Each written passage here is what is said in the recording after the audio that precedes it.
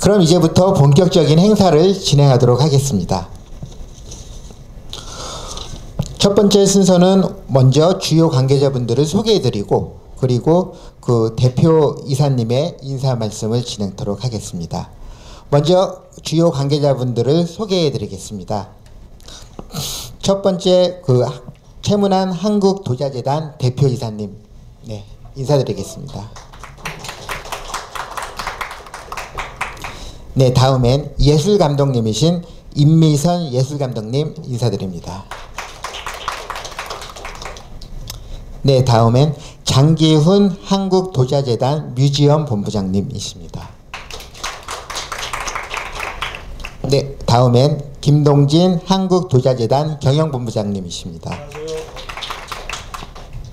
네.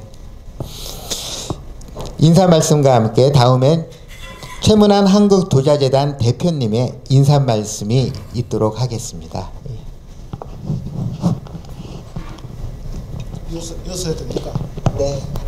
안녕하세요. 한국도자재단 대표사 최문환입니다. 오늘 우리 저 24년 경기 도자 비엔날에 홍보에서 참석해 준 여러 기자분들 정말로 감사드립니다. 우리 이번에 24년에 치러진 도자 비엔날에는 그동안에 2001년도에 세계 도자 엑스포로 시작해서 지금 12회째를 맡고 있습니다.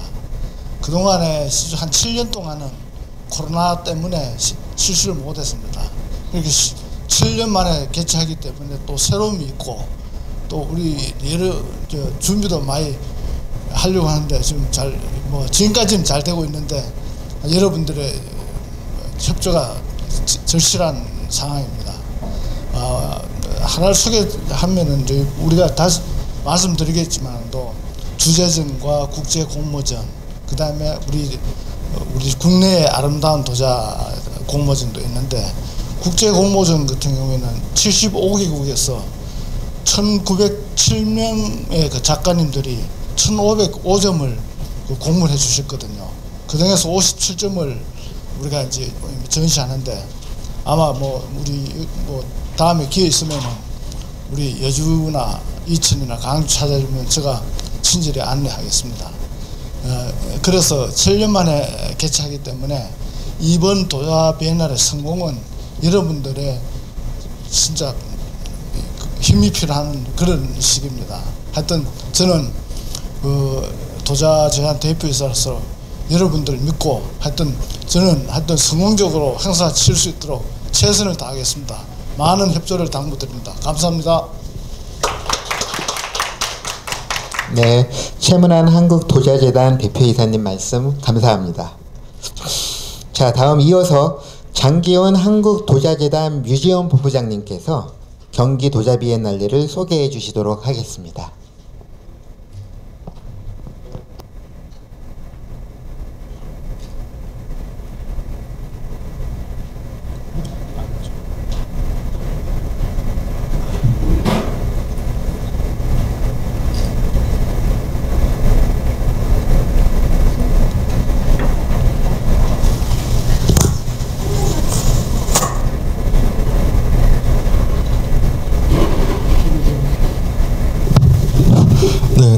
안녕하십니까 뮤지엄본부장 장기훈입니다. 어, 우리 경기 도자 비엔날레는 어, 경기도가 주최하고 한국 도자재단이 주관하는 어, 국제 도자 예술 행사입니다. 2001년 어, 경기 세계 도자기 엑스포에서부터 출발하여서 어, 올해로 12회째를 맞는 유서 깊은 행사라고 할 수가 있습니다. 어, 세계적으로 그 도자기를 주제로 한 비엔날레가 여러 개가 있습니다. 그 영국이나 이태리, 어, 중국, 대만, 일본 등지에서 하고 있는데 어, 경기 도자 비엔날레는 어, 일본의 미노 국제 도자 페스티벌 그리고 대만의 도자 비엔날레 중국의 경덕진 국제 도자 예술 비엔날레와 더불어서 아시아에서 제일 어, 자랑할 만한 그러한 비엔날레라고 할 수 있고 어, 참여율로는 어, 세계에서 가장 우수한 수준의 비엔날레라고 평가되고 있습니다. 참여율을 좀 말씀드리면 어, 보통 보통 어, 70에서 80여 개국이 어, 비엔날레에 참여를 하는데 어, 현재까지 가장 많은 참여가 이제 82개국이 참여한 바 있습니다. 그리고 11회를 거치면서 어, 참여 작가는 16,615명의 작가가 참여를 했고 어, 작, 참여 작품은 39,183점의 작품이 어, 출품된 그러한 이력을 가지고 있습니다. 어, 매회 이렇게 전 세계 70여 개국 1000명 이상의 작가들이 참여하는 어, 그런 권위 있는 우리나라 대표의 어, 도자문화 행사라고 할 수가 있겠습니다.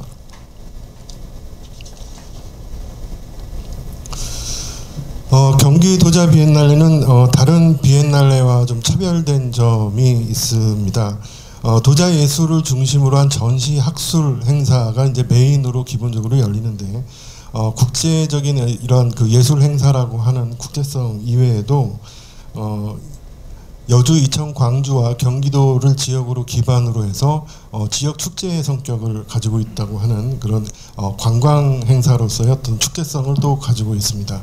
그리고 더불어서 어, 도자기가 이제 문화 산업으로서 앞으로 발굴 육성될 수 있도록 산업을 진행시키는 측면에서의 어떤 생산적인 성격도 갖고 있어서 어, 국제성과 축제성 그리고 생산 적인 어떤 성격을 가, 두루 갖추고 있는 도자 문화 어, 예술 관광 산업의 복합체로서의 행사다라고 이렇게 설명을 드릴 수가 있겠습니다. 어, 원래 저희 비엔날레의 취지는 원래 그 어, 세계 현대도의 작품들을 우리나라의 한 자리에 모아서 선보이고 또 신진 작가들이 어, 작품을 출품할 수 있는 그런 오픈 플랫폼을 만들어서 어, 새로운 경향을 여러분들에게 선보이고 그 중에 또 뛰어난 작품들을 발굴 육성해서 또 앞으로의 어떤 미래의 지향점을 제시하는 그런 역할을 가지고 있는데 어, 사실은 그것이 제일 메인이고 어, 이러한 어떤 도예의 어떤 활성화를 기반으로 한 어, 축제와 생산적인 어떤 산업적인 측면 이런 것들을 같이 가고 있다고 설명드릴 수 있겠습니다.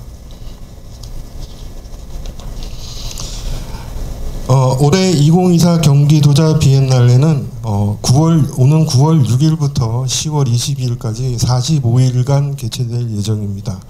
어, 추석 연휴를 포함해서 45일 기간 중에 휴무일 없이 어, 계속 어, 운영될 예정입니다.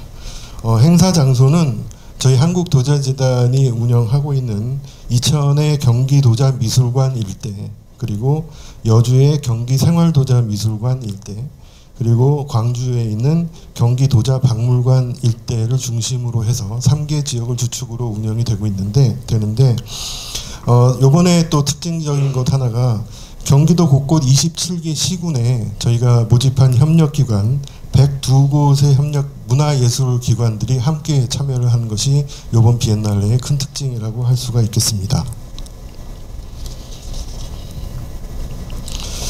어, 다음은 어, 2024 비엔날레 행사를 개요를 설명드리도록 하겠습니다.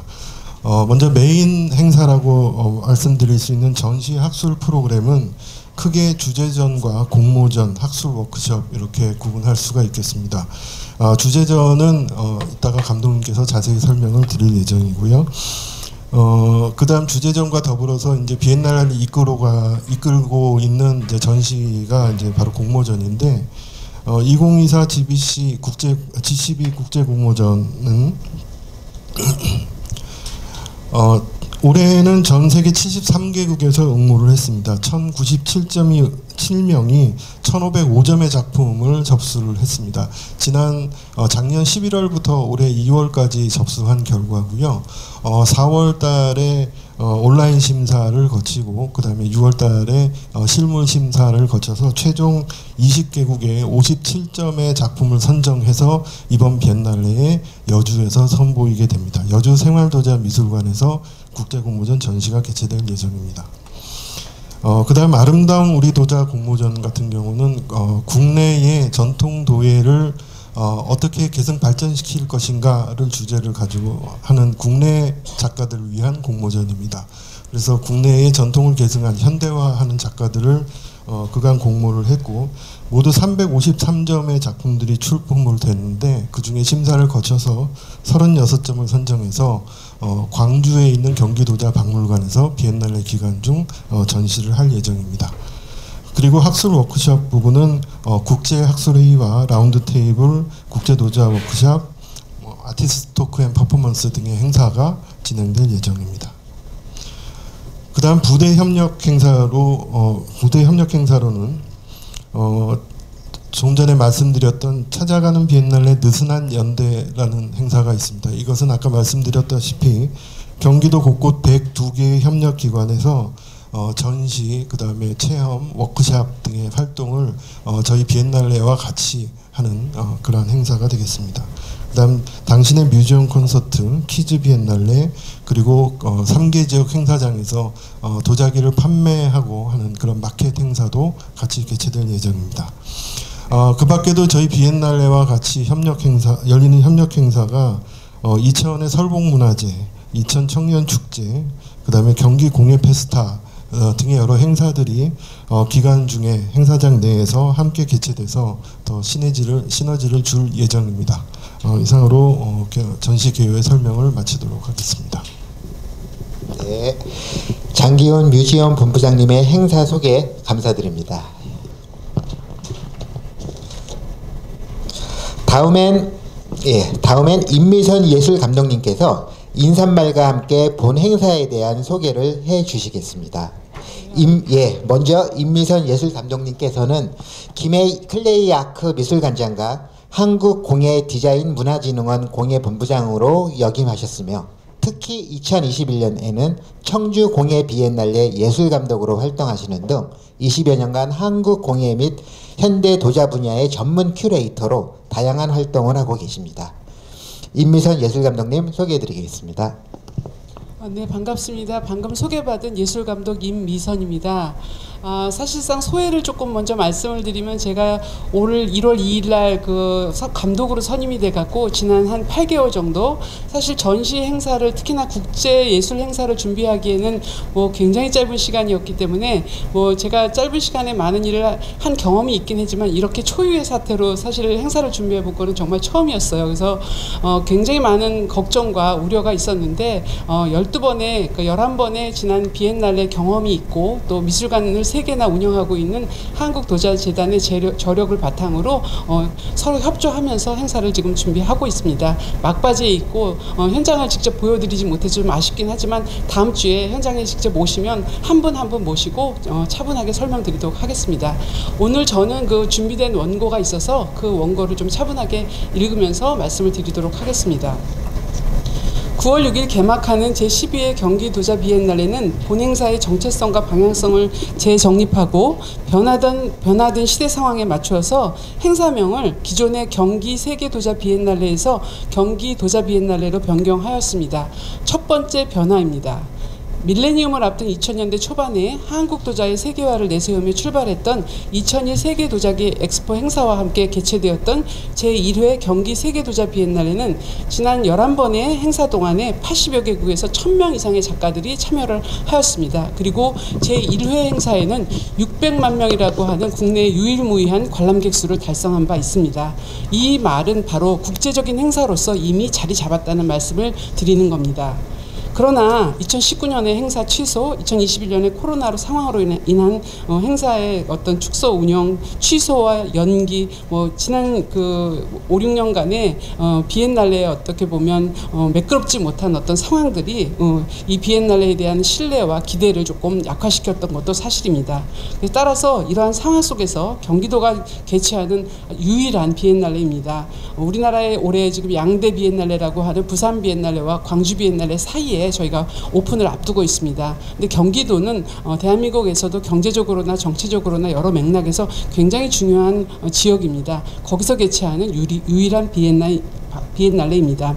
그래서 어, 이번 그 경기 도자 비엔날레의 위상과 정체성을 좀 재정립하고 앞으로 나아가야 할 방향에 대해서도 조금 더 고민할 필요가 있다고 생각했습니다. 그래서 그런 의지들을 좀 강하게 반영해서 어, 행사의 명칭을 음, 이번에 바꿀 것을 제안을 했고 그것이 받아들여져서 이번에 경기 도자 비엔날레라는 이름으로 행사를 시작합니다. 이것은 바로 행사의 장소이자 주체인 경기, 그다음에 행사의 매체이자 주제인 도자, 그리고 행사의 형식인 경기 경연제 미술 행사라는 어, 운영 형식을 반영해서 그 경기 도자 비엔날레 그 말 그대로 앞으로 이 비엔날레가 나아가야 될 방향과 정체성을 공고히 하고자 어, 그렇게 제안했고 또 과감하게 어, 재단에서는 이걸 받아들여서 이번 행사부터 국제적인 어떤 영어 영문명 또 국문명 다 모두 바꿔서 정체성을 분명히 하고자 하였습니다. 이번 12번째 경기도자 비엔날레의 주제는 Together 몽테뉴의 고양이입니다. 주제는 미국인 사회학자 리차드 세넷의 Homo Faber 프로젝트. 어, 이분이 뭐 미국인 굉장히 유명하신 사회학자신데 첫 번째 프로젝트인 장인, 두 번째 프로젝트인 Together, 세 번째 프로젝트인 짓기와 거주하기. 어, 학자시기 때문에 여기서 말씀드린 프로젝트는 연구의 결과물인 어, 저, 서를 말씀드린 것입니다. 이, 이 시리즈 가운데서 두 번째 시리즈인 투게더, 다른 사람들과 함께 살아가기 위해서 제가 영감을 받아서 현대 사회의 협력과 소외의 문제점들을 탐구하는 장을 펼치고 고자 합니다. 하지만 여기서 말하는 투게더는 단순한 의미 수준의 그런 어, 협력을 말씀드리는 것은 아닙니다. 내가 고양이와 놀고 있으면서 사실은 그 고양이가 나와 놀고 있는 것이 아니라는 것을 내가 어찌 알겠는가와 같은 16세기 프랑스 철학자 몽테뉴가 자신의 수상록에서 밝혔던 어, 그런 사려 깊은 협력을 말씀드리는 것입니다. 그래서 부제로 몽테뉴의 고양이를 덧붙인 다른 사람들과 함께 살아가는 것은 현대 사회에 굉장히 시급하고도 중요한 어, 과제입니다. 지난 코로나 팬데믹 사태를 통해서 함께 살아가기 위한 협력의 문제가 굉장히 중요한 시기이고 우리가 함께 따, 어, 고민해야 될 과제라는 것을 이미 인식하였습니다. 그 밖에도 우크라이나 전쟁과 팔레스타인 전쟁을 통해서 우리가 대립과 갈등을 얼마나 쉽게 잊어버리고 또 또 또 반복하는지를 어, 알수 있는 어, 그런 실제적인 사례가 또 되고 있습니다. 이념과 민족, 종교와 정치, 경제적 갈등과 소외, 무관심, 고독감 같은 현대사회의 복잡한 이슈들은 이미 어, 널리 자리 잡고 있습니다. 그래서 베니스 비엔날레를 포함해서 국내에 있는 여러 현대미술 비엔날레에서도 이러한 주제들을 또 다루고 있습니다. 이거 이외에도 디지털로 연결된 사회는 온라인 속에서 소외와 폭력을 증가시키고 인공지능을 통한 차세대 산업혁명은 현대인들의 일하는 능력과 일자리 자체를 위협하고 있는 현실입니다. 앞으로 그 디지털 문명에서 아날로그 문명에서 디지털 문화로 바뀌는 이 전환기에 아날로그의 대표적인 매체인 이 도자라는 분야가 어떻게 나아갈 것인지 어떤 것을 보여줄 수 있는지 굉장히 중요한 시점이라고 생각해서 그 부분에 대해서도 이번 비엔날레 정체성에 좀 담고자 노력하였습니다. 이번 제12회 경기 도자 비엔날레에서는 투게더 몽테뉴의 고향이라는 주제를 가지고 사회적인 갈등과 불안 속에서 우리가 잃어버린 어, 협력의 기술을 수리하고 복원할 수 있는 여러 가지 방법들을 도자 문화와 도자 예술을 통해서 어, 또 그리고 예술적인 상상력을 통해서 어, 살펴보고자 합니다. 그간 다양한 인종과 민족, 역사를 연결하면서 가장 오랫동안 그리고 가장 넓은 지역에서 계층에 관계없이 인류 문명의 발전에 오랫동안 기여해온 매체가 바로 도자기입니다.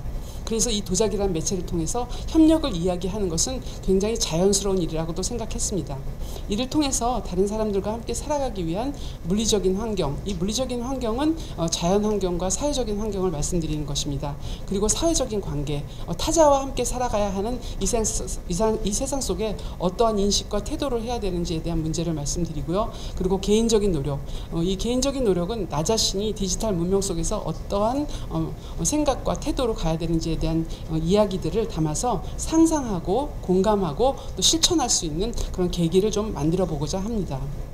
이번 행사는 도자예술의 핵심 요소인 흙과 불 그리고 예술적 상상력을 토대로 놀이와 의례의 형식으로 전시, 학술, 워크숍으로 구성된 본행사와 경기도 27개 시군에서 102개의 기관들이 참여하는 찾아가는 비엔날레 느슨한 연대 그리고 어, 시민들의 자발적 참여로 이루어지는 당신의 museum 콘서트 그리고 어린아이들을 위한 kids 비엔날레 그리고 각종 마켓 판매 행사로 이루어진 부대 행사가 이천 경기도자 미술관, 여주 경기 생활도자 미술관, 어, 광주 경기도자 박물관에서 펼쳐집니다. 그리고 제4회 경기공예 페스타, 제38회 설봉문화제, 제2회 이천 청년축제, 곤지암 리버마켓, 오곡나루 축제를 포함한 여러 가지 위성 행사들이 협력 행사로 경기도 곳곳에서 9월 6일부터 10월 20일까지 45일간 펼쳐질 예, 예정입니다. 경기도 전역으로 행사 장소를 확대하고 자발적인 참여, 참여를 통해서 이번 행사를 어, 협력의 장으로 만들고자 하는 두 번째 변화입니다. 어, 첫 번째 변화는 정체성에 대한 이야기였고요. 두 번째 변화는 장소성에 대한 이야기입니다. 어, 국공립 미술관의 어떤 본연의 그, 어, 어, 그 모습과 태도를 바탕으로 어, 지역에 있는 여러 기관들과 또 이 경기도의 31개 시군에 어, 살고 계시고 또 활동하고 계시는 많은 공예인들 또는 도예인들이 적극적으로 참여할 수 있도록 저희가 어, 이번 행사에 문을 열었습니다. 그래서 어, 경기도의 이천 여주 광주에서만 이번 그 경기도자 비엔날레가 펼쳐지는 것이 아니라 동서남북 경기도 여기저기에서 동시다발적으로 5월부터 올해 11월까지 개최되는 모든 행사를 담아서 경기도의 도의 비엔날레 스펙트럼 안에 담았습니다. 행사 장소와 개념 또는 참여의 범위 이 모든 것들을 열고 다 함께 만들어가는 그런 비엔날레를 하고자 하는 어, 감독의 의도입니다. 전시뿐만 아니라 행사를 통해서 비엔날레 주제를 구현하는 방법으로 전시와 행사 그다음에 시민과 작가 그리고 inbound와 outbound라고 하는 장소적인 어떤 연계 그래서 완전히 제거할 수 없는 다름에 대한 어, 존중이라고 하는 진정한 협력의 의미를 실, 직접 실천해보는 그런 비엔날레로서 만들어가고자 합니다.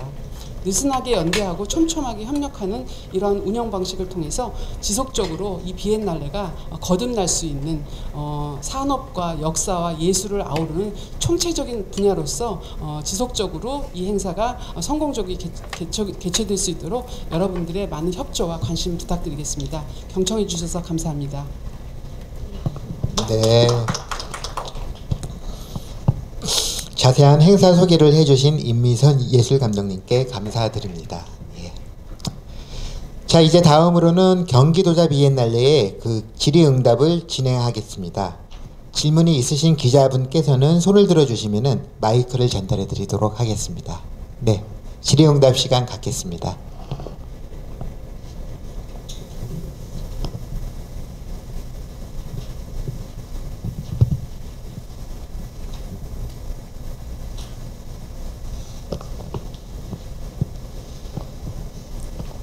네, 저희가 그 기자님께 드린 USB 안에 저희의 보도 자료와 함께 경기 도자 비엔날레의 여러 자료들이 저희 담겨 있습니다.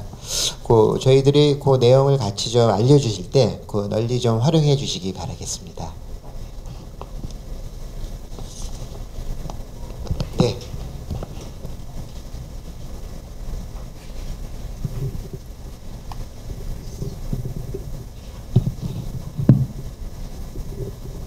네, 서울 아트가이드 김달진입니다.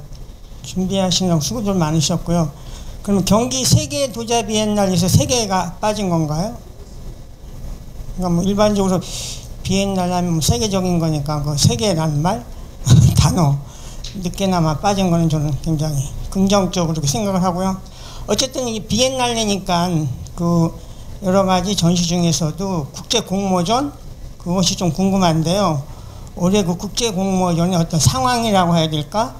출품 나라라든지 이런 절차하고 그 대상에 대한 것이 지금 이미지만 이렇게 나와 있는데 그 국제 공모전에 대해서 조금 더 추가적으로 설명을 해주시면 좋겠습니다.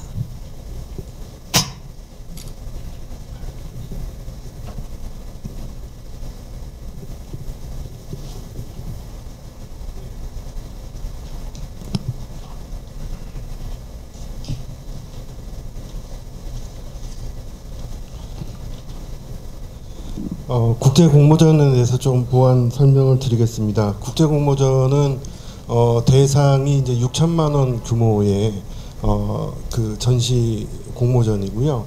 어, 요 정도 대상 규모를 가지고 있는 국가는 많지는 않습니다. 그래서 어, 일본의 이제 민호라든가 뭐 대만보다도 어, 경쟁력 있는 그러한 국제 공모전이고 세계 각국에서 많이 이제 응모를 했습니다. 어, 제가 지금 어, 죄송하지만 어, 정확하게 지금 뭐 국가별로 분석된 데이터는 가지고 오질 않아서 어, 필요하시면 어, 저 다시 자료를 배포를 해드리도록 하겠습니다. 저희가 심사를 진행하면서 보니까 어, 예전보다 그, 그 저희가 코로나를 어, 시기를 거치고 그 이후에 오랜 시기를 거치고 비엔날레를 하는 거다 보니까 국제 공모전에 대한 호응이 어, 상당히 좋았다 라는 그런 어, 판단을 했습니다.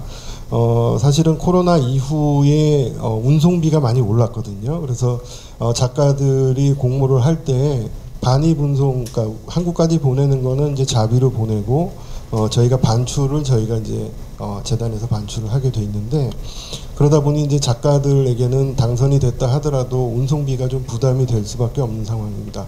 어, 그럼에도 불구하고 여전히 공모전에 응모 작가가 어, 줄지 않고 있다는 점에서는 어, 굉장히 긍정적이다는 생각을 했고요. 어, 또 한편으로는 받아 보니까 어, 작품들이 큰 설치 작품들은 좀 줄었다는 게 하나의 특징이 되겠습니다. 그래서 어, 소위 일반적인 생활용 도자기보다는 이제 어, 작품, 그러니까 도자기로 예술적인 어떤 것들을 표현하려면 그 스케일이나 규모, 어, 이런 장소성 이런 것도 굉장히 중요한데 그러다 보니까 이제 설치 작품들이 어, 뭐 없지는 않습니다만 어, 상대적으로 좀 줄었다는 것을 알 수가 있고요. 어, 제가 현대도의 전문가가 아니어서 뭐 작품 평을 드리기는 어렵겠습니다만 제 시각에서 본 바로는 어, 이전 작품들 중에 굉장히 심, 어, 이렇게 어, 많이 고민하고 또 이렇게 깊게 생각하고 사회 문제를 깊게 다루고 이렇게 했던 좀 그로스테스크한 작품들이나 이런 어두운 작품들이 현저하게 줄고 좀 밝고 산뜻하고 긍정적인 희망적인 이런 모습들을 보여주는 작품들이 어, 제 눈에는 많이 보였다는 게 하나의 특징인데요. 어, 자세한 심사위원들의 심사평도 어, 따로 어, 기자님들께 어, 보내드리도록 하겠습니다.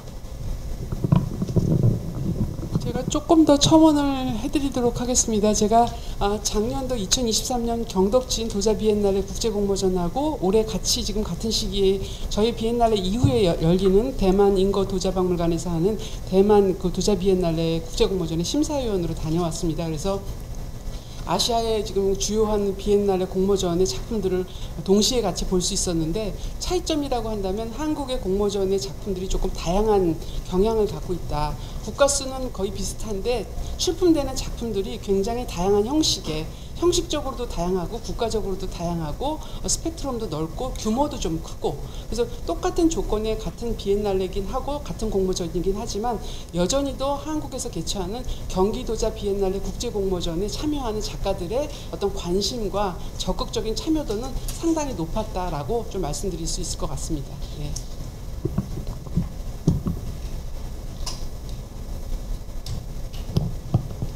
네, 또 다른 분 기자분, 예, 그 질문 받겠습니다.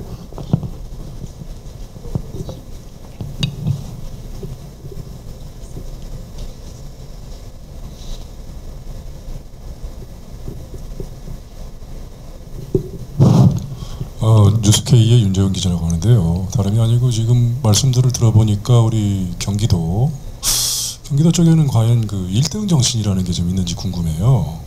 어, 다름이 아니고 지금 아까 부산 비엔날레하고 광주 비엔날레도 얘기를 하셨는데 왜 굳이 그런 데를 뭐 비교를 합니까? 우리만의 특성을 가지고 우리도 우리 분야에서 1등이 되겠다는 의지를 가지고 나가야죠. 그러기 위해서 필요한 것들이 여러 개 있습니다. 첫째 정체성이 필요해요. 경기도 도자 우리만의 대한민국이 가진 세계적인 컨텐츠지 않습니까? 왜 굳이 비엔날레라는 말을 붙여요? 여기다가 축제라는 아주 좋은 우리말이 있는데 뭐 이태리 가서 뭐 로마에 가서 좀 하고 또 빛이 나고 그런 시대는 지났어요 지금 영어 단어 몇 개 붙인다고 그 품격이 올라가고 거기 구성원들의 만족도가 높아지고 예 그런 건 아니죠. 그리고 심지어는 이제 마지막으로 하나 더 첨언을 드리고 싶다면은 이제 우리 축제가 좀 더 발전되고 하자. 그럼 결국은 이 우리 구성원들에게 공감대를 형성해서 같이 공유할 수 있어야 됩니다. 우리들만의 그 축제가 돼서는 안 돼요. 모두의 축제가 돼야지. 그러기 위해서 문호를 많이 개방하고 진입 장벽을 낮추고 더 많은 예술가와 진입 장벽의 그 장애를 받고 진입을 못하는 사람들에게 기회를 주는 그런 장이 돼야죠. 좀 뭐 들어오면서도 보니까 뭐 초청 안 받은 기자는 뭐 어쩌고 저쩌고 얘기하고 누군가는 관심을 가지고 지켜본다는 건 도와주러 오는 거예요. 그 사람은 귀인이 귀인이 돼서 도움을 주려고 오는 거지 거기에 해코지하려고 그것을 가는 게 아닙니다. 비싼 차비 들여가지고 예 그죠? 그리고 재정 자립도도 좀 이렇게 해서 중앙정부에서 지금 예산 발표했는데 뭐 경기도에서 뭐 이렇게 해가지고 뭐 손학규 씨라든지 김문 누구죠? 김문수 그 누구 막 이재명 그다음에 지금 김동연 씨 이런 유능한 도지사들이 나오지만 항상 1등을 할 수 있는 그런 마인드는 없는 것 같아요. 왜 판을 이끌고 갈 생각을 안 하고 항상 끌 끌려가고 따라갈 생각만 합니까? 경 경기도에서 가장 핵심적으로 키울 수 있는 컨텐츠는 도자는 아주 좋은 소재예요. 지금 전 세계가 지금 한류 열풍이 불어서 한국어 배우려 난리가 났어요. 우리만 우물안의 개구리로 영어 몇 마디 따라가려고 그러고 있어요. 이런 것에 대한 진지한 고민과 성찰을 좀 하시고 내년에 기자간담회 때는 좀 더 많은 기자들이 문화부다 취재 기자들이 와가지고 좀 북적북적한 분위기에서 좀 페스티벌 식으로 했었으면 좋겠습니다. 아무나 한 말씀 주시죠. 제가 그 좀 말씀을 드리겠습니다.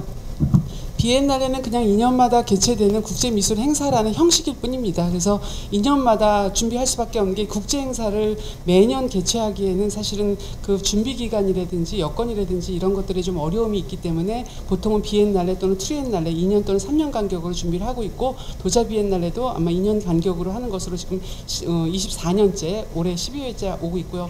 걱정하시는 것처럼 사실은 그런 부분에 대해서 올해 굉장히 고민을 많이 했습니다. 그래서 도자라는 매체가 갖고 있는 강점 특히나 광주 분원이 조선시대 400년간 우리의 국가에서 필요로 하는 어, 관여를 운영했던 곳입니다. 그래서 정체성을 분명히 갖고 있기 때문에 도자가 갖고 있는 스펙트럼, 예술과 산업과 역사를 다 아우를 수 있는 그런 전시 그리고 그게 누구나 참여할 수 있는 방식으로 이번에 열린 비엔날레 형식으로 지금 찾아가는 비엔날레 뭐 참여하는 콘서트 그래서 기존에 보시면 어, 위성 행사나 협력 행사로 문을 열었던 이유는 뭐냐면 기존에 38회 또는 4회, 6회 이렇게 해오던 어, 지역에 있는 행사들을 우리 행사에 다 같이 포함시켜서 저희가 플랫폼을 만들고 홍보하는 그런 전략으로 이번에 조금 재편을 했습니다. 그래서 그런 부분들 조금 예쁘게 봐주시고 앞으로 더 노력하도록 하겠습니다.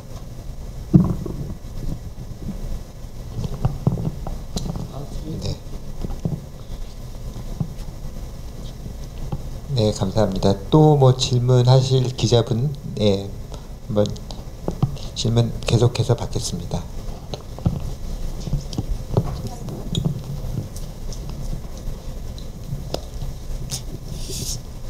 경기도자 비엔날레가 세계적인 행사 이제 행, 비엔날레가 됐다고 아까 서두에 말씀을 하셨고 또 본부장님은 또 해외 유수의 그 이제 영국이나 중국 뭐 이런데 행사를 좀 소개를 해주셨는데요. 어, 경기도자 비엔날레가 세계적인 행사가 된 뭐 11회까지 지금 했지만 가장 큰 어, 다른 국가의 그 행사와 가장 큰 차이점, 뭐 경쟁력은 무엇인지 좀그좀 궁금하고요. 그 다음에 또 하나는 이제 좀 뭐 제가 단견일 수도 있지만 지금 말씀하시는 거 보면은 지금 뭐 전시와 공모 또 그 다음에 뭐 소장품전 해가지고 어 도자의 그 예술적인 측면을 좀 많이 좀 강조를 하시는 것 같습니다. 주제 역시도 상당히 좀 생각을 몇 번씩 좀 하게끔 하는 이런 어려운 주제인데 도자라는 것은 뭐 제가 일반 생활인 입장에서 보면은 그런 예술품도 있지만 뭐뭐 뭐 유럽의 뭐 좋은 뭐 찻잔부터 저희 생활적인 도자도 상당히 많이 있다고 생각을 합니다. 그럼 결국은 많은 대중들이 와서 좀 더 이제 공감하고 이러기 위해서는 그럼 너무 이게 추상적이고 다가가기 어려운 그런 예술품적인 도자도 있지만 실생활에 좀 접목이 될 수 있고 좀 손쉽게 다가갈 수 있는 그런 도자적인 부분도 있다고 저는 생각을 하고 또 그런 부분들이 어, 이런 행사 지금 제목만 봤을 때는 거기서 뭐 도, 도, 전 한번 만들어 보는 뭐, 뭐 이런 것으로 이제 대체되는 정도일 것 같은데 그런 부분에 있어서 어 뭐 공방이라든가 아니면 또 또 도자 기업들 이런 산업적인 측면의 어떤 참여 뭐 후원이라든가 이런 부분 아까 본부장님도 분명히 이제 산업적인 측면을 좀 얘기를 하셨는데 아, 보도자료를 제가 몇 번 봤지만 구체적으로 산업계, 산업적인 측면이 언급된 건 없었습니다. 그래서 저도 좀 의아했는데 말씀으로만 얘기했는데 그런 산업적인 조화를 좀 어떻게 하고 있는지 그렇게 두 가지 좀 답변을 해주십시오. 네, 어, 제가 답변 드려야 될 것 같습니다. 어, 일단 이제 그 차별화된 그 경쟁력 부분을 말씀하셨는데요. 어, 사실은 어, 국제 도자 비엔날레들이 각국에서 행사를 벌이는 것들이 보면 대동서이하긴 합니다. 근데 아무래도 어, 주로 출품 작가들의 작품들이 이제 자국 작품들이 많기 때문에 어, 자국의 성향을 많이 보여준다 라고 볼 수가 있는데 어, 역시 저희 비엔날레도 어, 한국 작가들의 작품을 많이 보여주는 그런 계기가 될 수 있을 것 같습니다. 어, 경쟁력이라고 보긴 그렇지만 저희가 지난 20년간 했던 그 비엔날레의 주 방향성은 세계 우수한 도자기들을 우리나라에 들어와서 우리나라 작가들에게 소개시켜주고 우리나라 작가들에게 영감을 주고 우리나라 도자 예술과 산업에 문화 산업에 영향을 준다라는 것이 일종의 취지와 방향이었는데 어, 이것이 이제 어떻게 보면 경기도자 비엔날레의 하나의 큰 틀이었다고 할 수가 있겠습니다. 근데 어, 근래 들어서 저희 재단 자체에서도 어, 저희 여러 가지 전시나 기획을 하면서 기획자들도 어, 국내 작가들을 이제는 세계에 보여줄 때가 되었다 라는 측면에서 국내 작가의 작품들을 많이 출품하고 육성하고 어, 하는 것으로 이제 어떤 어, 트렌드를 변화해야 되는 것이 아닌가 이런 생각을 가지고 있고요. 그런 방향성이 아마 어, 요번 비엔날레에 나타나지 않을까 그렇게 생각이 됩니다. 그리고 어, 두 번째로 말씀 질문 주신 것 중에 어, 순수하게 이제 전시학술의 어떤 예술 도자 예술 행사로서가 어, 뭐 좋지만 그 생활 도자기나 어떤 산업으로서의 어떤 측면이 어떤 것이 보완되는가를 여쭤보셨는데 비엔날레 자체는 순수하게 그 예술 행사인 것은 맞습니다. 그래서 그 본질을 저희가 버리지 않지만 항상 저희가 고민하는 것이 순수한 예술 행사만으로는 대중성을 얻을 수 없고 또 경기도에서 도민들을 위해서 뭔가 기여할 수 있는 바가 적다라고 하는 것이 저희 재단의 20년간 딜레마였고요. 그래서 저희가 요번에 달라진 것들이 축제성 어, 행사를 같이 결합하고 그 다음에 102곳에 찾아가는 느슨한 연대를 만든다는 것입니다. 어, 느슨한 연대에 참여하는 어, 것들은 대부분 개인 공방들입니다. 그래서 공방의 작가들이 어, 작업을 자기 공방에서 하고 비엔날레에 직접 와서 여주청 관계에 모여서 워크숍을 하고 출품하지 못하지만 자기 작, 자기 공방에서 손님을 받고 비엔날레 연계해서 체험을 하고 교육을 하고 작품을 판매하고 하는 활동들이 이어질 수 있겠다라는 측면에서 그런 한 느슨한 연대가 어떻게 보면 지금 이제 어, 침체되고 있는 도자 산업의 어떤 계기가 되지 않겠는가라는 측면을 보고 있는 것이고요. 어, 또 하나는 이제 마켓을 좀 활성화시킨다는 측면입니다. 그래서 여주이청, 광주에 각각 도자기 마켓을 좀 활성화함으로 해서 어, 어, 도예인들의 어떤 어, 산업을 육성시킨다는 측면입니다. 그리고 저 잠깐 오해하시면 안 될 것이 여기서 도자 산업이라고 하는 측면이 대규모의 어떤 공장을 운영하고 하는 그런 어, 산업의 측면은 아니고 문화 산업의 측면에서 어, 봐주시면 좋겠다는 생각을 가지고 있습니다. 네.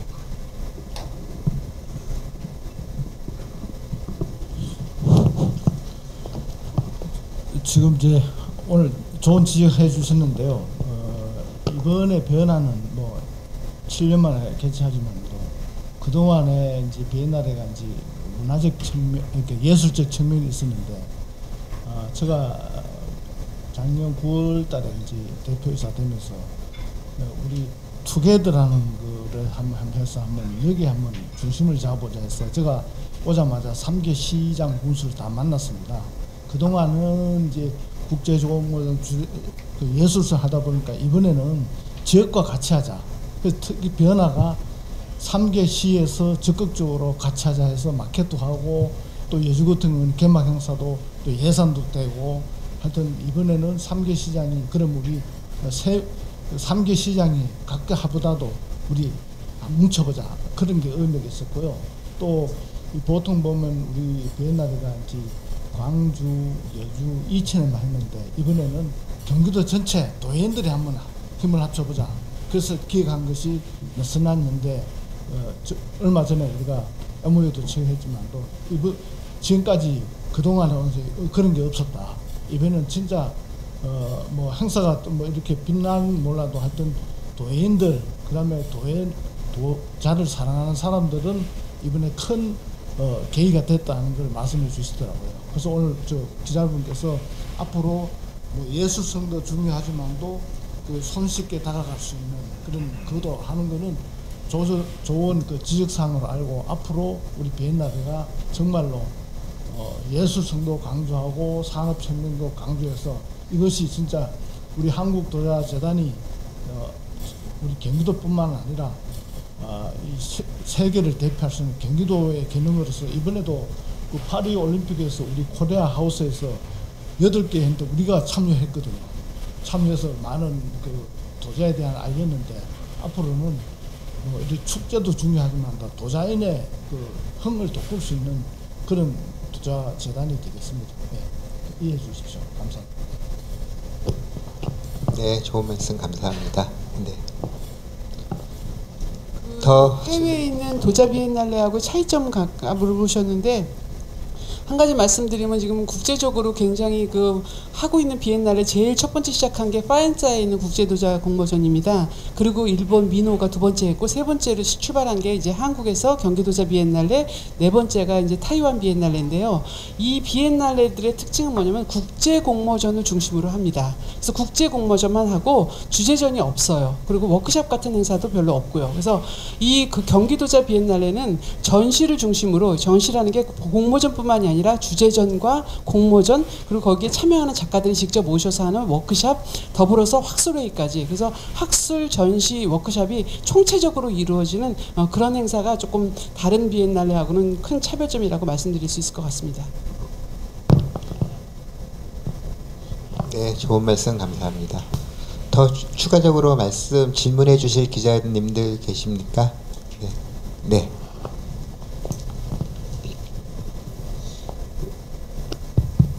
네, 안녕하세요. 저는 월간도의 장미성 기자라고 하는데요. 네, 오늘 행사 개요 소개 정말 잘 들었고요. 단지 이제 제가 어, 말씀해주신 부분에서 한 두 가지 정도 질문을 좀 추려서 말씀드리려고 합니다.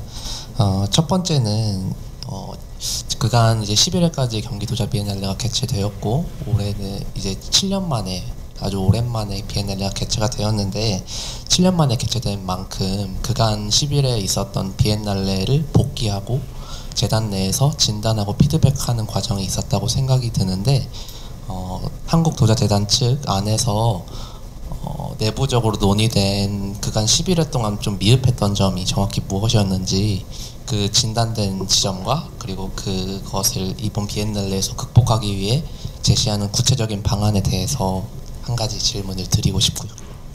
두 번째는 어, 올해 정말 많은 작가들과 그리고 누적된 작가님과 출품작 수로 보았을 때 어떤 예술의 공급과 수요의 장- 측면에서는 공급은 정말 많은 것은 이해가 가는데 어, 이 도자 산업이 발전하기 위해서는 정말 세계적인 작가들이 많이 나와야 된다고 저는 개인적인 생각이 듭니다. 근데 그 세계적인 작가가 되기 위해서는 작품 수도 많은 것도 중요하지만 보는 사람이 많은 것도 정말 중요하잖아요.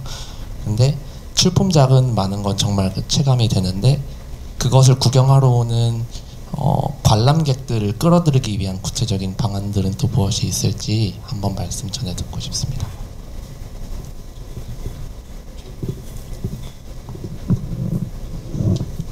아 그런 게 있지. 아, 건 질문 있잖아. 어, 어 답변 드리겠습니다. 그 저희가 그 뭐 7년만은 정확히는 아닌데요. 2019년 그러니까 2017년 이후에 어 19년 비엔날레가 이제 돼지열병으로 갑작스럽게 이제 어, 취소가 됐습니다. 그래서 어, 전시는 계속 했는데 어, 부대 행사들을 진행을 못했었고 어, 그리고 21년도 행사는 이제 어, 이제 코로나 팬데믹으로 인해서 집계기 어렵기 때문에 온라인 중심으로 행사를 좀 진행을 했었습니다. 그러다 보니까 이제 어, 다시 예전처럼 모여서 축제성 행사를 갖는 것은 어, 7년 만이다 이런 표현인데요. 저희가 어, 그래서 21년도 행사를 마치고 나서 어떻게 해야 되는지 어, 여러 가지 고민을 많이 했습니다. 그래서 어, 공청회도 했고요, 전문가들 간담회도 했고 어, 전 직원 설문조사도 하고 어, 제가 이제 자료를 뭐 가져오긴 했는데 일일이 그걸 다 설명드리기는 어렵겠습니다만 나름대로 이제 어, 분석을 하고 어, 정리를 했습니다.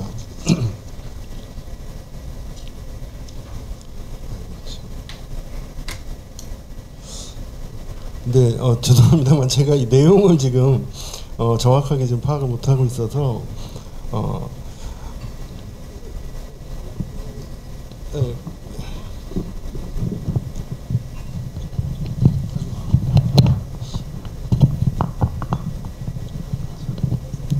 예, 그 경영본부장 김동진입니다.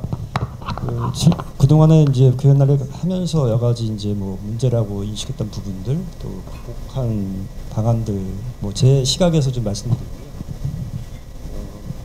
그간 저희가 비엔날레를 진행하면서 뭐 더 잘해본다는 어떤 그런 생각들 또 일하면서 또 편리해지는 어떤 그런 성향 때문에 어, 비엔날레의 어떤 뭐 본전시를 생략한다던가 또 예술 감독을 임명을 했다가 안 했다가 이렇게 주춤날쭉 한다던가 또 관중심의 사고로 이렇게 위원회 구성해서 진행했다던가 이런 아, 이렇게 좀 불규칙한 운영 방식들을 많이 저희가 해왔었습니다. 그래서 그런 것들을 다시 비엔날레 본질에 입각해서 아, 체계를 갖추고 또 그렇기 위해서 저희가 민간 전문가 중심으로 운영위를 또 구성했고요. 또 예술 감독님의 또 영역을 넓히면서 감독님을 또 이제 저희가 추천 심의를 해서 또 모시게 됐고 아, 그렇게 저희가 지금 아, 다시 비엔날레 본질을 찾아가는 어떤 그런 운영 체계를 갖추는데 저희가 요번에 이제 심혈을 기울였다고 볼 수 있고요. 아까 그래서 처음에 감독님 모두의 말씀에 이제 좀 늦게 선임되셔서 시간이 촉박한 그런 상황이 좀 이제 발생했던 것도 있습니다. 네, 그거 이 첫 번째 답변을 저희가 지금 이렇게 드리겠습니다.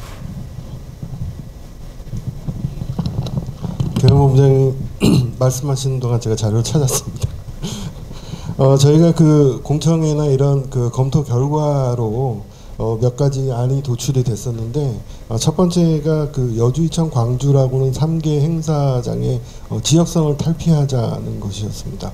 그 3개 행사장이 어떤 계속 고착돼서 행사하는 것이 경기도의 성격을 보여주는 것이 어렵다 해서 어, 그동안에는 3개 행사장을 돌아가면서 하자는 의견도 있었고 여러 가지 있었는데 일단 큰 틀에서는 행사 지역을 확장하자는 의견이 주도적으로 있었고요.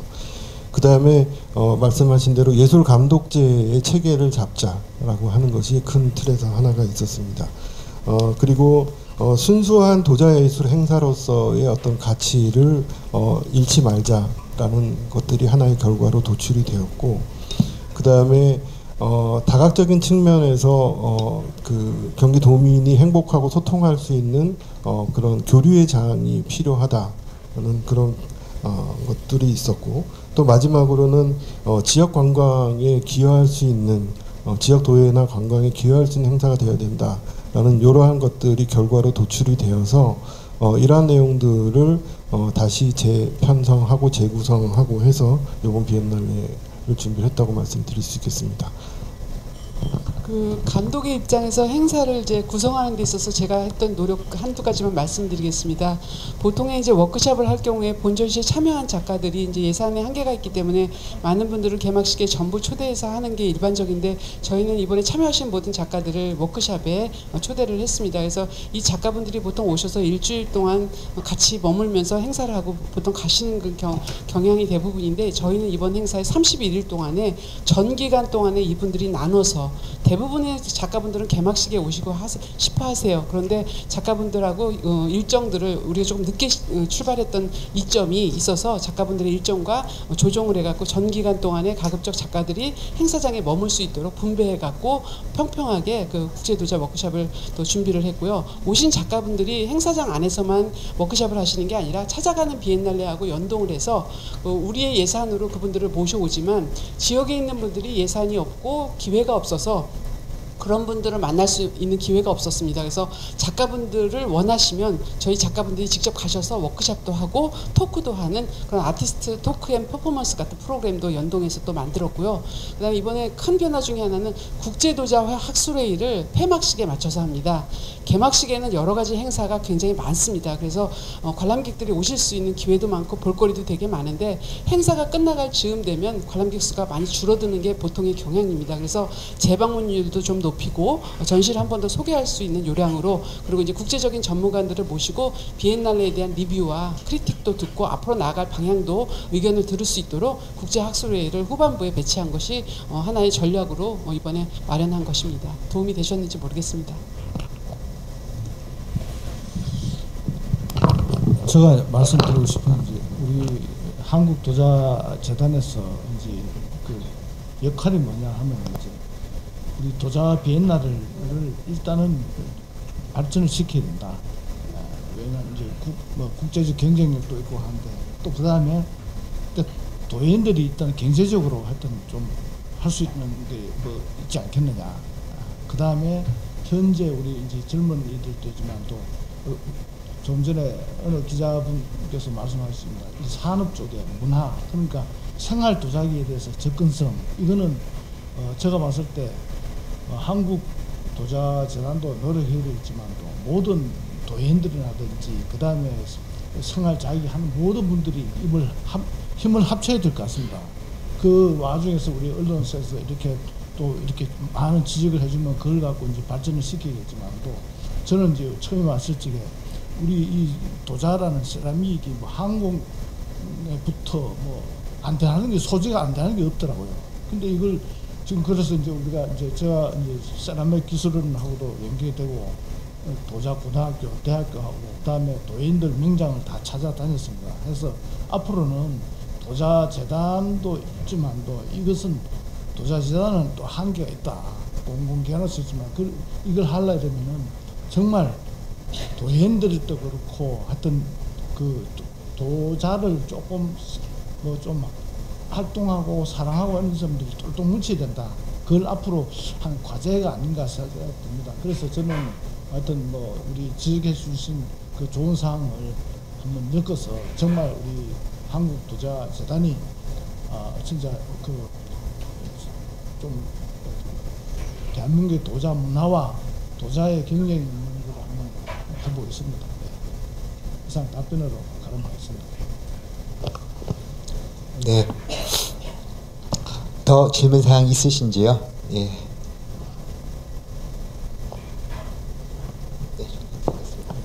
네. 저, 제가 마지막으로 오늘 우리 바쁜 일정에도 이렇게 저희 우리 도자 비엔나를 홍보해 주시기 위해서 참석하신 기자분들께 너무나 감사를 드립니다. 어, 저도 전에 언론 팀장을 한 경도에서 한 4년 5개월 했습니다. 그때도 언론 언론이 있기 때문에 이 모든 문화가 발전되지 않겠나 판단됩니다. 여러분 오늘 좋은 지적 감사하고요. 제가 이제 만약 부탁이 있다면은 그래도 언론이 우리를 도와주셔야 됩니다. 이번 도자 비엔나레가 지금 몇, 며칠 안 남았지만도 그래도 언론이 도와주면은 성공할 수 있다. 저는 확신하고 여러분 믿습니다. 많이 좀 도와주십시오. 감사합니다. 네, 감사합니다. 자, 이상 끝으로 2024 제12회 경기도자 비엔날레 기자 간담회를 마치겠습니다. 감사합니다. 다시 한번 참석해 주신 모든 기자 여러분들께 감사드리면서 아울러 오늘 주요 관계자분들의 기념사진 촬영이 있겠습니다. 주요 관계자분들 앞으로 나와 사진 촬영에 임해 주시기 바라겠습니다.